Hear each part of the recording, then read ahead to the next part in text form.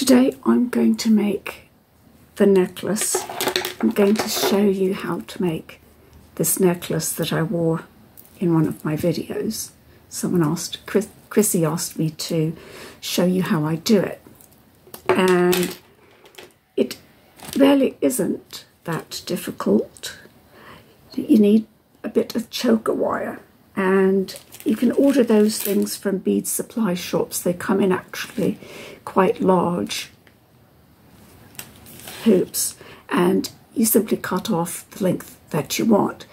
And it's advisable for the average neck that you make the two ends halfway down. I happen to have more of the supplies.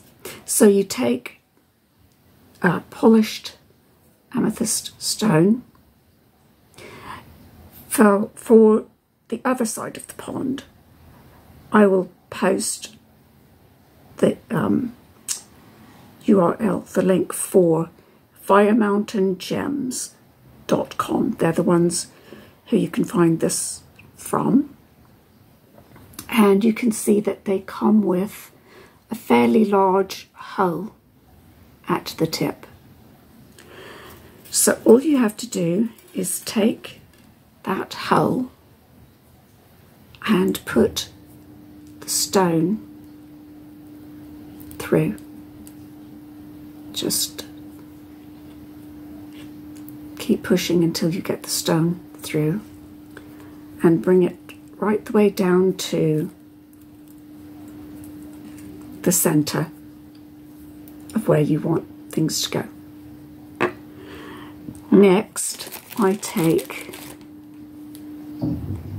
a pearl. This is a peacock dyed pearl, and you can see, let's see if I can position this. There, you see that pearl? You want to thread that pearl through and then put another one on the other side. Put it through. Now these pieces are called freeform frangia, also came from Fire Mountain Gems. They're mother of pearl and they come in both white and natural. They have these little holes. Let's see if I can focus this. Come on, focus. There, you see it through the white shine. You'll see a little point, and that little point is the hole. You want to put the hole so that it lands facing the stone. I have to learn how to, where to put this. So since I want it to face this way, I thread it through the opposite way and it lands that way. So you want it facing this way to wrap around the stone. You thread it the opposite and then it lands the correct way and you put another one on the other side.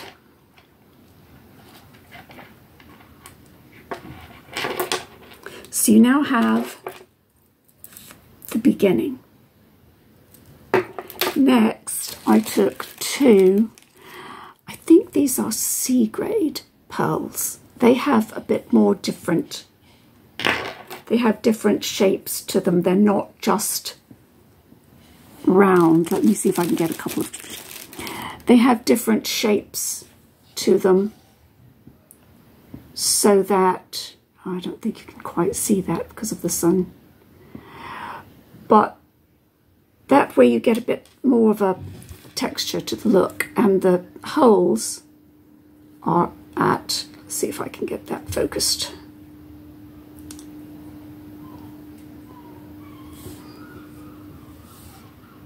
You can just about see the hole.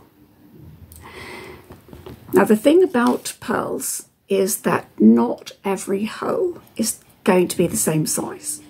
So you'll actually go through all of your pearls to find one with the hole the right size to go over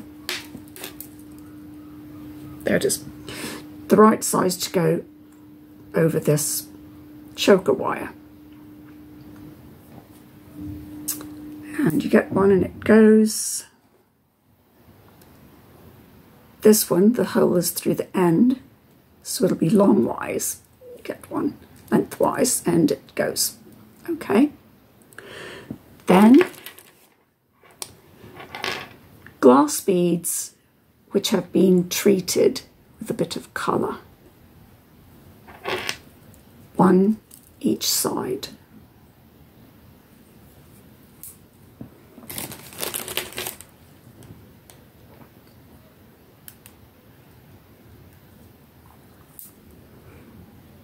and then another pearl each side.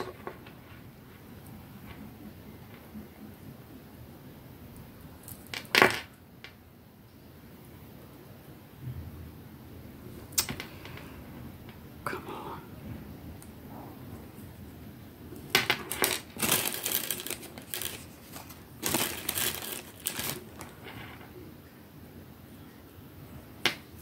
This one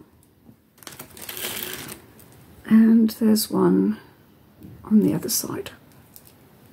Okay, so you keep doing that until you get to the point where you want to add the bigger one. And these are the same thing, but they're just larger. It's a, like a glass nugget bead. This one, the colour is painted inside a mirrored backing so that if you turn it this way, that's the look you get. And you just thread that on. And then you carry on again with that same pearl, bead, pearl, bead until you get to the end. And this part have to have the right tools. This is beading grips. And the this is because of the Tool Magic rubber. I don't make fine jewellery anymore, so it doesn't matter. But when I made fine jewellery with gold and sterling silver, I didn't want the grips scratching it. So I put I dipped it in the Tool Magic and it put a coating on it that prevented that. So if you wanted to make nicer things, you would want to get that. But what you would then do to make your life easier is take this wire and you want to do the opposite. You want to pull it up. There we go, Up into a circle. I'm trying to get used to what you can and can't see on here. But you put it into a circle and make certain that the circle is adequately closed. Then you take a jump ring, which is split, open it slightly, just take your finger on one side and the grips on the other, or your finger if you're that strong, and just do that. Just pull it open. Then you thread it through that hoop, close it, and make certain that it's closed all the way. I don't know if you could really see that, but it's closed all the way. On the other side though, now you have two options. You can use a jump ring and then put this on it, or if you really want to make your life difficult, you can try to thread it through the end of the clasp and then wrap it round that way. Especially for beginners, I highly recommend just using a jump ring. But what you would do is give it a turn, bring the bring the clasp up where it's beginning to stop. Hold it there and give it more of a turn. And as I say, this is the more difficult way to do it. The advantage to it is that it makes it less likely that the clasp will pop off of the necklace if you're out and about and things are pulling on it. So once you get that loop closed around it, there you have it. If you have any little edges, you can close this more completely with another pair of grips. Grip the, the hoop part and make it crush closed. This end is the most difficult end. It, it really is. And you have to straighten it. Make certain that it's closed completely. Okay. And once you get it closed, can you see that? Once you get it completely closed, if you have an edge, all you have to do is get you do need the correct tools. It's, it's easily done, but with the correct tools. If you have any little tip, just take a file, jewellery making file for metal, and just do that until the tip blends in. And it takes a bit of time to just sit there and keep filing it until it gets right. But when you're done, that, then you would have the necklace. Now the thing about the choker wire is that it is so extremely inexpensive that as you're learning, if you make mistakes, and that's just not going to work, wire cutter, cut it off, try again. And after you've done that a few times, you'll find yourself able to just very quickly and easily make a necklace. This is my own design and that's not as much of a boast as one might think because because really at the end of the day all you have to do is see in your mind what you think would look pretty and make it. And then you have your own jewellery. And another time, the other video, I'll make the dangly earrings that I had made to go with it. And I'll show you how I made those with those same glass beads and a bit of chain. That's all it takes. And I've discovered that I'm out of some of those supplies. So I've just put in an order to the bead shop.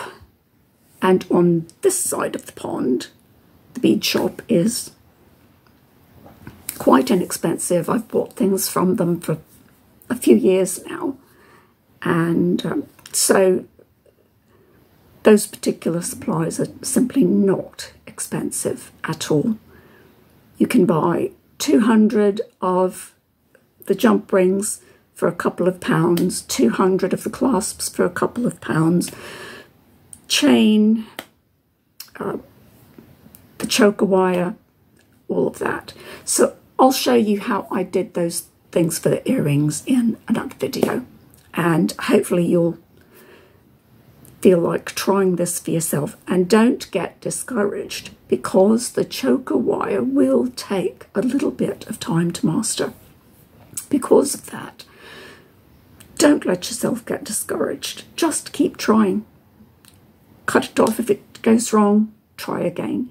And if you cut it off till you've just got this much choker wire, well, make another loop and try again. It's so inexpensive that you can afford to keep trying until you make it right. And I think that the pearls I ordered also from Fire Mountain Gem. The, the only place I've rarely found where I can order pearls here, curiousgems.co.uk. I'll put a, blank, a link there as well. But I'll actually I'll put that link when I'm showing you how I make the, the fine pearl necklaces because they only sell fine pearls and they won't have this same texture, this same different shapes, etc. They're, they're AAA plus and they are expensive. So if you if you can order, if you are on the other side of the pond and you can't can order from Fire Mountain Gems, you'll be able to get these pearls fairly cheaply. If you're on this side of the pond, let's not forget that ever since Brexit, for whatever reason, things shipping from America also became more complicated. I didn't see the connection, but I certainly did see the price. Two things I discovered was that customs went up so that I was looking at paying as much for customs as I was paying for the order itself. Shipping was extraordinary. We used to be able to do our own customs paperwork. I did it all the time, it's dead easy. They stopped allowing us to do that and did it themselves and charged us a £12 fee for the privilege. Then when the item came to the door, and this is after Brexit, when the item came to the door, the post office was saying, You owe us eight more pound for the process. And I told them, Actually, I don't, because I paid all of the charges from their door to mine. Sing for it.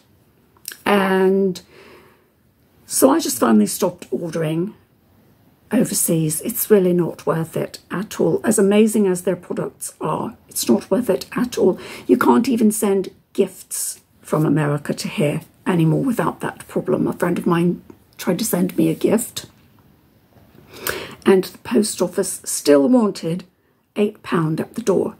I told him sing for it. She got the gift back, and I told her we're not sending each other anything anymore.